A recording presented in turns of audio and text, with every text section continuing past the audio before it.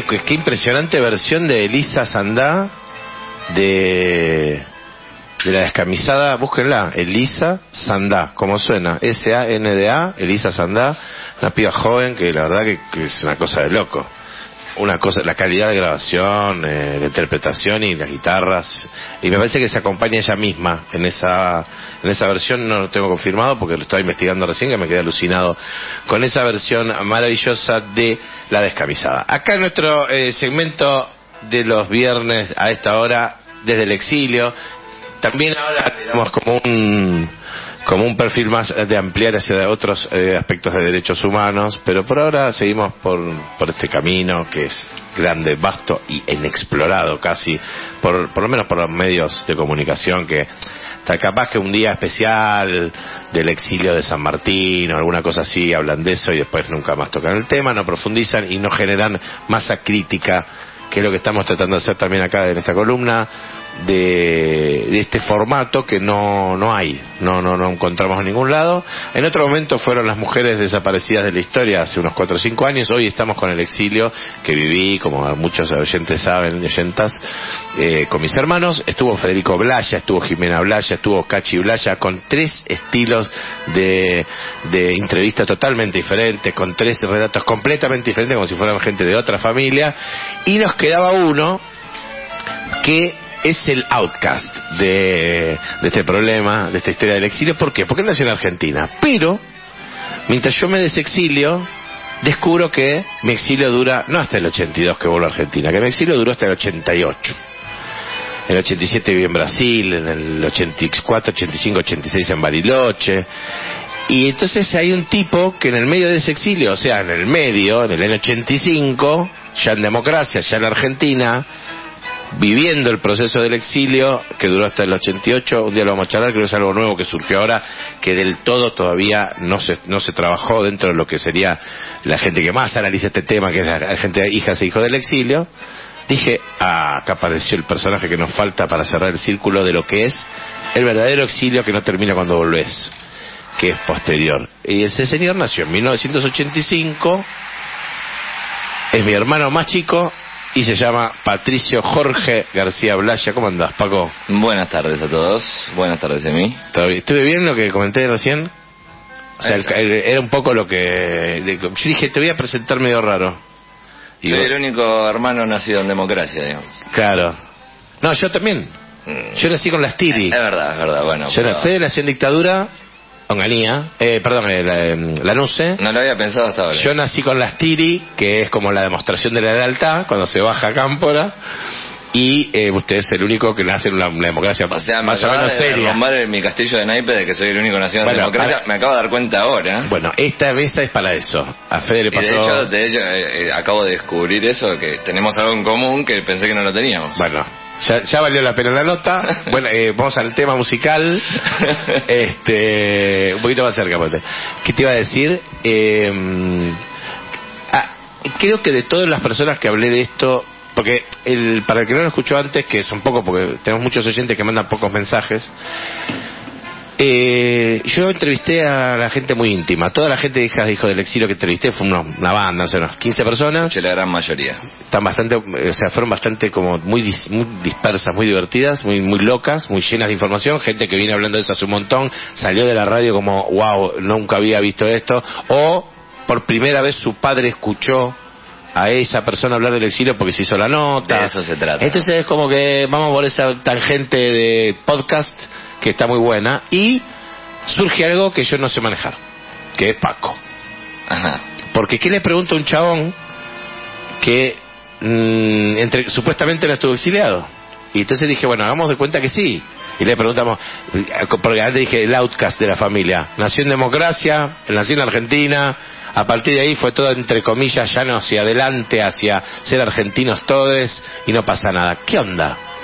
Mira, lo primero que te diría es que, o lo que pienso yo, ¿no? Lo que se me ocurrió es que en seis años de mi vida ya tuve seis, siete casas y viví en tres ciudades diferentes, eh, muy lejos una de otra. O sea, yo nací en Buenos Aires, pero vivía en Bariloche. Y, eh, así que a la semana de nacer o a las dos semanas, no sé bien, me fui a Bariloche y era de Bariloche. y eso duró solo un año. Después me fui a Brasil y Brasil también duró un año y monedas y me volví a Argentina. Ya son a tres años y medio de mi vida, eh, tres ciudades a miles de kilómetros una de otra. O sea, son tres años y medio iguales a los que tuvimos cualquiera de los que fuimos exiliados. Exactamente. Podrás decir, eh, era chiquito, no lo sufría, no, no Mentira. bueno, no, mentira. Eh, aprendí a hablar en Brasil, eh, tengo recuerdos muy, eh, muy fantasmagóricos de Brasil, pero los tengo y son reales. Y no fuiste, el día que vayas se te cae el culo. No, bueno, por ahí era yo era casi un bebé, tengo dos o tres recuerdos de Brasil, pero hay algo que, que te queda y que no está en las fotos. Que Claro. nosotros tenemos miles de fotos, pero yo los recuerdos que tengo, que siento que son recuerdos míos, no están en ninguna foto. No, no, no. o sea, en mi cuarto no, no, no hay ningún álbum familiar de Brasil del 87 al 88, una foto de mi cuarto. Y yo me acuerdo de mi cuarto. Mira. Pero me la acuerdo de, no, me la acuerdo visualmente, literal. Sí, sí, tengo- sí. Y después de volver de ahí, encima, eh, volver a Buenos Aires, o sea, de Bariloche a Brasil, de Brasil a Buenos Aires, pasé tres años viviendo en cuatro casas distintas. O sea que hasta mis seis años tuve, tuve una casa por año en promedio, digamos. Y eso para mí era normal en su momento. Ahora de grande me doy cuenta que son consecuencias del exilio. Ve, comentario, te acabas de mudar hace poquito, ¿no? Sí, otra vez. Además. Hago una casa intrafamiliar encima. Además. Sí, sí, sí, tengo mil... Bueno, en un momento me- eh, estuve mucho tiempo en una misma casa, pero para mí era como normal, como pensé que todo el Nosotros- mundo le pasaba, nosotros que tenía lo- varias casas. Tal cual. Para Para mí normal. normal. Hay gente que vive una sola. Eh, nosotros le llamamos a eso. Eh, eh, tiene un nombre, ahora me voy a acordar. Eh, se llama proceso de migrancia. Estado de migrancia. Bueno, es exacto. Yo hace 22 años que vivo en la misma casa. Pero tengo 20 mudanzas encima. Claro, claro. Yo no quiero mudar más. Yo no estoy más en proceso de migrancia. Ahora, ¿qué estoy pensando todo el tiempo? Irme a vivir a San Luis. Claro. te, te queda el virus Sí, de sí. que hay otro lugar donde estás mejor. Entonces, cuando vivíamos en Brasil, queríamos estar en Argentina. Cuando volvimos a Argentina, queríamos ir a Brasil de vacaciones. Y cuando estamos en Buenos Aires, queremos ir a San Luis. Y cuando estamos en San Luis, queremos volver porque los puntanos son toda una manga de vago, lo que fuere. Entonces, nos pasa eso de ya hacer eso y, que, y me di cuenta eh, a nivel familiar y a nivel eh, entrevistando a los chicos y hablando mucho esto con los chicos del exilio, ya hace 17 años que hacemos este ejercicio, que Paco era una de las piezas que le faltaba rompecabezas porque yo entrevistaba naturalmente a pibas que habían estado exiliados un año y medio. Claro, claro. Y Bueno. se sentaron acá y dije, pará, Paco es, es más HD que un par que conozco que son HD. Yo la primera vez que me puse a analizar personalmente sobre mi persona y el exilio fue con Hijo del Exilio y no yo no, no participé activamente ni nada, si- sino que por medio tuyo llegaba la info y empecé a reanalizar algunas cosas y, y me di cuenta que también era víctima del exilio por más que haya nacido después de la dictadura y demás. Porque ya te digo, los primeros seis años para mí era normal vivir en una casa, en otra, en una ciudad, en otra, no, no- algunas ni me acuerdo, Bariloche yo no me acuerdo nada porque era un bebé, ¿no? Pero eh, al, cumplir cinco o seis años, al volver a Buenos Aires, vos sabés tu propia historia, vos, vos sabés que naciste eh, eh, viviendo en Bariloche, sabés que estuviste en Brasil. En Bariloche en dos casas, comentario, tres años. dos Otra casa más, mira, me perdí otra. Bueno. Así que son siete u ocho, Sí. más o menos, en seis años. Pero hay un paréntesis importante. Cuando nosotros vivimos en Bariloche, que vivimos tres años, el primer año alquilamos, el segundo alquilamos y construimos, y el tercero nos mudamos a la casa que construimos de cero. El cuarto nos fuimos a Brasil. O sea, el intento de mis viejos de ra- enraizarse era mucho más débil, por más que le inyectaras todo lo que vos pudieras, de comprar un terreno, de construir una casa de cero, en el piso, en una manzana vacía, ¿eh? estoy hablando. Construyeron una casa, nos quedamos en Bariloche, este es nuestro, nuestra patria, nuestro suelo, este es nuestro futuro. Eh, le dijeron a mi hijo, che, salió un laburito en Brasil por un año, ¿te querés ir? Chao, a la mierda la casa, a la mierda la construcción, nos fuimos toda la mierda. O sea, esa inestabilidad también conducida por nuestros padres que son poco nombrados en estas en estas charlas. Podrían venir también. Sí, es un abordaje, sí, no, es interesante, pero es un abordaje que que, que, que, que hay que pensarlo bien, porque esto que estamos hablando ahora, por ejemplo, decís, che, mirá, acabo esto que estoy diciendo de la casa, no lo había pensado.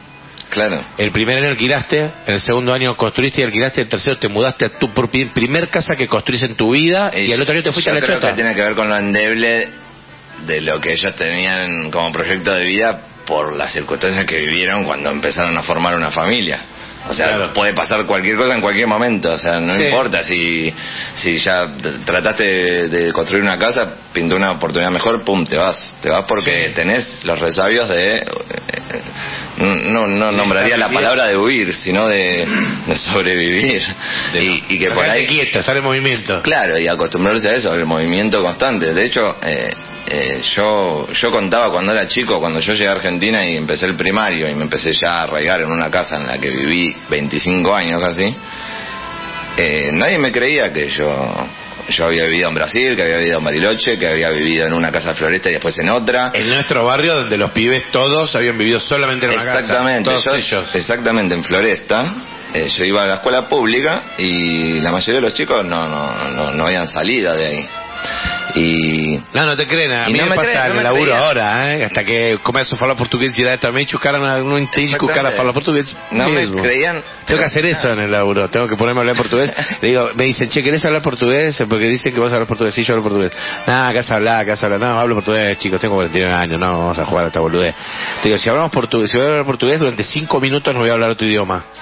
Y si ahora tengo que fumar que hable 5 minutos en portugués, de todo lo, y ustedes no van a saber hablar conmigo.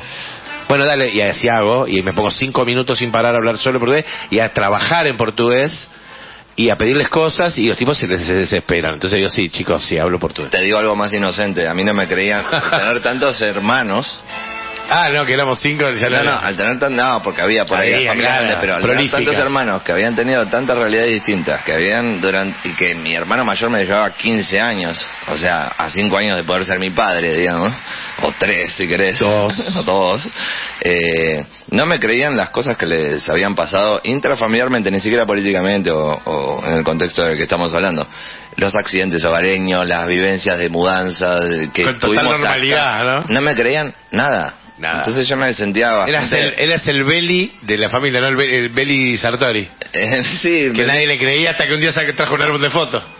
Que, claro, claro, que así hasta que las personas más cercanas, los amigos más cercanos, que además eh, yo tenía como una carga de información bastante abundante ya de chico, políticamente y demás, y los que se me empezaron a acercar amistosamente de mis amigos de la primaria empezaron a comprobar que todo era real, como viniendo a mi casa, conociendo a mi mamá, conociendo a mis hermanos, y claro, yo tenía 8 o 9 años y mi hermano tenía 24. Entonces todo eso que yo decía era verdad. Pero, y a mí me parecía re normal mi vida, pero me empecé a dar cuenta que eh, estaba rodeado en general de gente que no, no, no, había vivido nada parecido, ni, ni en la militancia de los viejos, ni, el, ni mudarse, ni el exilio, ni nada. Acabo de caer porque a Naira no le creían que tiene una hermana de 20 largos que la Micaela. Y es así. Hasta que Micaela fue a buscar expresamente para que ella parara de sufrir que era mentirosa. Mi hermana tiene 25 años, 26 años. No podían creerlo. Ey, yo estaba en primer... y este estaba hablando de otra cosa un poquito más. Yo estaba en primer grado y decía que era tía y no me creían hasta que la beba tuvo que ir a la escuela un día que la cuidaba mi mamá. Y la vieron ahí y mi mamá dijo, sí, es el tío. Y, ahí me empezaban a creer, pero no me creían. De lo más inocente a lo más complicado. Todo lo que acarreo de la familia previo a nacer, porque es muy grande, ya es una familia de ya cuatro hijos y el que me sigue a mí me lleva cuatro años ya. Entonces ya es una familia armada en la que yo caigo un poco después. Y es difícil por ahí ser niño y eh, haber vivido en distintos lugares, tardar en arraigarse, tener tanta carga de información y chocar con pibes y pibas que no que por ahí y gracias claro que no que no me entendían o que creían que todo era una fantasía entonces era difícil yo no tenía problemas de era muy tímido yo en esa época, pero no tenía problemas de que eso me afectara. Sí lo iba entendiendo, como que me sentía diferente, como que me daba cuenta que eh, no solo no me creían porque me creían mentiroso, sino porque no estaban en otro plano, ¿viste? Y nunca los jugué ni me sentí juzgado. Pregunta. Bueno, sí, es importante esto para ahí, porque ahí viene la pregunta que de ¿Eso te hizo ocultar un poco? ¿Sentís que un poco bajaste un cambio con ser como eras, traer la informe que traías para encajar, y esto tiene que ser sincero, ¿eh? como las chicas que dejaron de hablar en gallego de un día por el otro, o yo que perdí el portugués directamente en el 88, nunca más hablé portugués, en el 89, escuché un disco de Chitas y no entendía la letra. Claro. Sí, sí, yo me crié con chitense y nunca entendí. No, no, es que yo había hablado portugués, venía del año anterior de vivir en San Pablo y, y Claro. al año siguiente, un año después, no entendía la letra de las canciones, Claro, era un bloqueo mental. ¿Vos sentís que cuando en el barrio de Floresta, en el Madame Curie, eh, empezaste como a decir, bueno, voy a bajar un cambio con esta cosa que cuento, porque si no nadie me va a dar bola? No, y al revés. La, para pudriste. Sí, al revés. No, no. Primero, por un- es difícil porque por un lado estaba siendo educado de una manera en la cual se me daba mucha información, pero a la vez se me protegía, digamos. O sea, no, se me enseñaba a proteger esa información porque eran épocas delicadas. No eran los 80 donde los grupos de tarea todavía no estaban activos, pero no se podía decir en los 90 tan fácilmente que tu familia había sido guerrillera. Claro, claro, claro. y Sí, no estaba, sí, estaba en el, indulto, muchachos. Claro, eh, estaba todavía un poco eso. eh, Picado. y sobre todo desde casa era como, bueno, no, que no se mencione y demás. No me lo decían a mí con siete años, sino que yo ya lo entendía y lo escuchaba y de que de hecho me- por ahí me lo decía un hermano, no mi vieja o mi viejo. Pero por otra parte al revés, eh, me sentía como que yo tenía una información que los demás no tenían. Y que había que tener ahí. Sí, y que ha- había que persuadir a cualquiera de eso, a cualquiera, a cualquiera que quiera ser mi amigo o algo así, de contarle, loco, mirá, hay un montón de cosas, sí, hay un montón de cosas que pasan, y no te hablo de cosas re profundas, No, no, no, pero sino de cierta data de que, loco, a mí no me creían porque no podían comprender las cosas que pasaban en el mundo, yo tampoco, tenía siete años, pero, u ocho. Pero tenías otra proyección de... de- Pero de- sí, claro, yo entendía que había gente que tenía intereses, poderes, demás, que no, no sé, cómo, no sé cómo explicarlo porque tampoco lo podría traducir exactamente lo que pensaba en ese momento, pero sí, al revés de reprimir eso, no, yo traté de encontrar a la gente que me, que sí me creía, que sí se copaba, de que se involucre y que incluso mucha, tengo un amigo de- desde tercer grado que su posición ideológica la hicimos juntos prácticamente. Eh, estaba en pelotas. Sí, sí, era un pibe normal, sin mucha barrio, data. pibe Pero es un pibe que nunca me juzgó y que me quiso siempre y yo lo quise siempre. Y el chabón hoy en día te va a la plaza a ver a Cristina y sin dudas. Claro. Y, y te digo, eh, no, no sé si es por mí, sino que fue una de las personas que logré persuadir claro, de que había decir, que los "Che, dos loco, juntos hay construir". data, hay data fuerte, por más que seamos nenes, hay data fuerte. Yo fui a la marcha del 24 de marzo de 1996, cuando se cumplieron 20 años. Me acuerdo Llevó, mi mamá, yo tenía 10 años. Y fue ese para mí fue un momento bisagra en mi vida, por más que yo ya previamente tenía data, aunque no sabía los detalles de las cosas más heavy, digamos, pero tenía data política. Cuando fui a esa marcha, Te cerraron un montón y ahí me cerró todo y yo fui a la escuela al día siguiente, si no me ah, me acuerdo mal, me parece que fue un domingo. El único de toda la 24 de marzo, me parece que fue domingo, y fuimos con mamá, y era un ambiente de mierda, porque había mucha policía, Sí, hubo represión, no donde, donde estuvimos nosotros, por lo menos no me acuerdo de eso, sí momentos de tensión y mucha ayuda, y yo ahí conocí a la policía, conocí las militancias, conocí un montón de las marchas, o sea, yo me sentí cautivado al toque, y yo el otro día fui a la escuela y les conté todo lo que, lo que vi, porque una maestra algo hizo mención muy leve, y yo me largué con toda. Y eso que vos me preguntabas antes, no, nunca lo reprimí, al contrario. Y siempre fui al choque con la gente facha o... Facha no, por ahí hay gente que te rechaza por tener tanta carga de información o que se siente eh, superada por vos en algún aspecto. Preferí ir al choque con esa gente, no, no, no, no, no me interesaba, no eh, hacerme el boludo, digamos. Sí, sí, sí, Todo lo alivianar, contrario. alivi- alivianar tu, Todo lo tu situación. Tampoco es que tuve un compromiso enorme y demás, no, no, pero no, de no, chico pero sí. estamos hablando de un pibito. Eh, no entendí. ¿Para qué me hablan del Fue domingo, fue Ah, domingo. domingo. Acá eh, Tito que no puede con su genio confirma eh, mirando en internet que fue domingo. Sí, sí, yo me acuerdo porque Se fue el, el otro día rep cargadísimo. fue el lunes y hablé, yo que era un pibe de 25 kilos, que mi compañero más eh, flaco siguiente me llevaba 10 42. kilos, y me paré enfrente del curso gracias a una maestra que me dio lugar y les expliqué, va, no, no es que les expliqué, les conté lo que viví el día anterior y que eh, no se hablaba en, en las escuelas tanto como ahora esos temas. Mira lo que te voy a decir. Hoy llego la 24 de marzo, domingo, llego a la oficina y ninguno de los de la oficina fue el 24 de marzo. Bueno. Hoy, 20, eh, 1920, eh, 1922, 2022 y, hoy llego todo roto, mal y me ven que no, buen día, buen día, todo roto. Estuve todo el día en La Plata. eh, Entonces me dice, ¿qué te pasa? No, no, no, no, no siempre la gente suma y resta con la cabeza política que por ahí manejamos lo que tenemos esta cuestión. Y ahí voy este, con lo de ir a la plaza y eso. A mí me pasaba mucho en, en el secundario en los 80 y 90 que nada, era, era, un, era, era un raro. O sea, yo lo llevé al Gordo Pereira por primera vez a una marcha en su vida en el año 2001. Claro. No lo podía creer. Chabón de, Bueno, Ma- me pasó. chabón de Madero, del Rioba. Ojo, un chabón que estudió en el Otto Kraus. Egresado del Otto Kraus. Nunca fue una movilización. En Argentina, no, en Paraguay. Es muy loco eso. En Eh, el secundario me pasó similar también. Sí, sí, del- sigue pasando. Yo del 96 fui todos los años. Claro. No, por ahí, algún, entre el 96 y el 2002, eh, falté a una, ponele.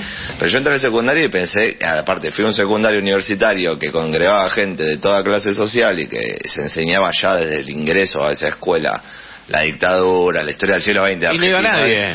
Y eran pocos, la Eran verdad. poquísimos. Y, había pocos que tenían la obligación. Yo tenía como una obligación un poco. Sí, sí. Pero obligación eh, por un tanto moral y por otro tenía ganas de ir, boludo. Claro, Claro. es una fecha esperada. Y en el, en el 96 había sido multitudinaria, pero después de esas, hasta que ganó Néstor, Bajó, bajó, bajó. Cada vez no menos. iba nadie, eran Éramos las madres, menos. iban las madres y iban Sí, 5.000 sí, sí. personas, Éramos no es que menos. iban 60, 100 mil Hasta que el peronismo se hizo cargo de vuelta de sus propios muertos, sus propios desaparecidos. Y bueno, "Che, y ahí dejemos de volví- joder". Néstor Kirchner. Sí, sí, y ahí yo perduré en la plaza gracias a Néstor también, porque yo- después del 2001 y todo eso, sí, uno iba todo con poca representatividad y vino alguien que más o menos le dio algo que yo esperaba que era lo más sensato cinco años antes, tipo, no pueden haber 5.000 personas el 24 de marzo. No puede. En el año 2000, no en el 2065 que por ahí, bueno, Ya está, ya me, se Bueno, murieron sí, todos, las madres, las abuelas, los hijos. Loco. Y yo había ido cuatro años antes a 20 años de la dictadura y estaba llena la plaza y estaba todo podrido con Menem y había yuta y estaba todo mal. ¿Cómo puede ser que tipo en años tipo no le den más bola? Bueno, Oh, eso- no, bueno, es un- no- no estaba embanderada Es un tema, no, pues es un tema, es un tema político. Así que eso se puede discutir eh, largo y tendido. Nosotros tenemos eh, dos cosas en la radio. Una es eh, aire acondicionado y la otra es el tiempo es muy tirano. Eh, yo con mis hermanos le cuento a la gente porque esto me gusta que la gente lo sienta y también a veces se dé cuenta que no conoce de su familia del todo como cree. eh, y yo estoy entrevistando a mis hermanos y Paco es mi último. Eh, con todos mis hermanos, me- creo que es cruzado, ¿no? Pero nos une algo particular, con Fede la infancia y la, la- el exilio juntos. Bueno, y- descubrimos una hoy que nacimos Descubrimos democracia. que nacimos en democracia con Paco. Eh, con Jime hay otras coincidencias, con Cache hay otras coincidencias, y son, son, son- hay, hay una complementariedad que tal vez se da en otras familias. Nosotros tenemos la característica acá, Tito Oficina es mi primo, para el que no sabe que escuche. Y es mi primo hermano. Y es el primo hermano de mi- nuestro primo hermano, nuestro amigo. Y en la familia eso pasa mucho y hay problemas y lo arreglamos entre todos y nos, nos conocemos y so- somos muy unidos. Y con Paco tuvimos la coincidencia de que yo en mi adolescencia fui un punky muy, sigo siendo, eh, un punky eh, picante. Tenés una remera de los Sex Pistols. Tengo una remera de Sex Pistols y tengo un cinturón de tacha. Eh, vengo del laburo. Y Paco siguió la- el, los- el camino del punk rock que eh, a diferencia de la mayoría de los movimientos musicales, eh, comillas, de moda, este es un movimiento con una ideología, tal vez eh, equiparable al hipismo y cierta parte de la música. Hippie sin futuro. Exacto, es un hipismo sin esperanza. El hipismo sin esperanza es el punk. Hay mucha gente que no sabe un pito de punk, les recomiendo que lo investiguen porque es muy impresionante, hay muchas bandas muy importantes, sin ninguna duda la banda más importante de Argentina Y Latinoamérica. y de Latinoamérica y de otros continentes De habla hispana, te de diría. habla hispana y demás. Es una banda que eh, los dos curtimos mucho y tuvimos la suerte incluso de ir a un recital juntos, que fue en el Luna Park, la gran despedida de esta gente con la formación original que ni siquiera yo había visto. Te voy a decir algo. A eh, mi iniciación política temprana o de, de entender, entender cosas del mundo y de que hay problemas, intereses, poderes, miserias, es ese, acercarme al punk. A escuchar desde los tres años los violadores y los Ramones y ¿Qué- Sex Pistols. ¿Qué vamos a escuchar, Paquiru? Y vamos a escuchar un temazo. Primero antes que diga qué tema va, va, va, va a caer, lo spoileó en la radio hoy, que este señor que está acá sentado es nada más ni nada menos, y lo voy a confirmar, una persona que siendo punk tenía dos personalidades, que eso lo vamos a desarrollar otro día, que venga invitado a charlar de esas cosas, que era que de repente se convertía en otro señor, que era Johnny Sabarenga. Algo así como eh, hacía Beavis and Butthead, que era, eh, Beavis hacía... eh, for my de- se convertía en otro chabón. Ese otro chabón del alter ego era Johnny Sabarenga, que es el señor que hace nuestros audios, que son los mejores audios de compacto de audios de la radio argentina en esta radio Radio Rebelde este señor es el que las hace que aparte de músico tiene una banda sonidista sabe de todo lo que hay que saber en la vida para hacer punk y vamos a escuchar ¿qué vamos a escuchar de los violadores? Y vamos a escuchar un temazo que se llama Por 1980 y tantos. vamos Vamos. gracias Paco De nada.